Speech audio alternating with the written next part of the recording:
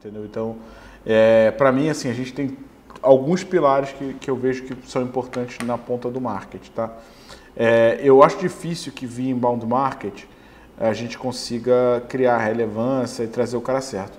Para mim, a, o que você tem que pensar na, na, no quesito produção de conteúdo é um conteúdo que a gente vai usar para fazer fluxo de nutrição e fluxo de automação de leads inbound.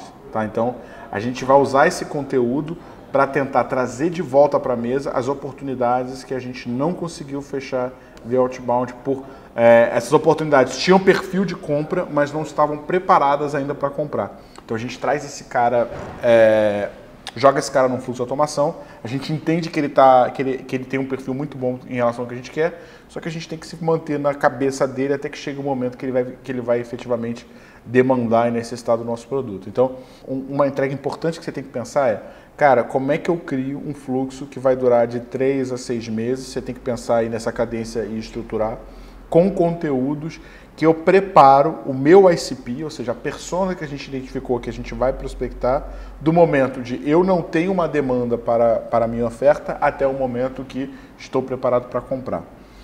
Considerando. Pode falar.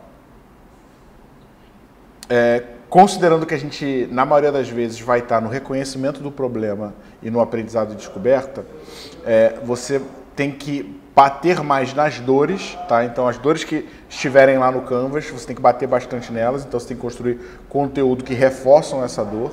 Se você conseguir criar algum tipo de ferramenta que faz um diagnóstico, que mostra que, cara, ó, é impossível você chegar no resultado que você quer com o que você está fazendo hoje. Essa é a conclusão que você tem que vender para ele.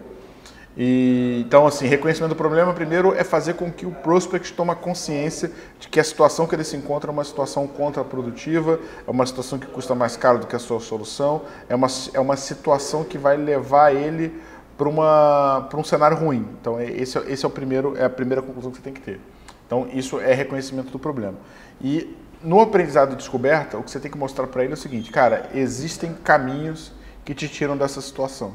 Não necessariamente você tem que vender a sua empresa, mas você vende os caminhos de solução. E é muito importante que você seja imparcial nesse processo. Não adianta você falar, eu sou melhor, eu tenho essa e essa característica. Então, é claro que você é imparcial falando bem de você, mas você fala assim: olha, é, para resolver o seu problema, você pode é, contratar um produto pronto, você pode usar um site de crowdsourcing, ou pode contratar o sobrinho, ou pode contratar uma empresa profissional, especialista, que já fez isso em mais de tantos negócios. Só que o teu objetivo agora é, é vender para ele um caminho de solução. Você tem que convencer ele. Aí, imagina que se você vende desenvolvimento de produto, né? que, é, que é, é de fato o nosso exemplo.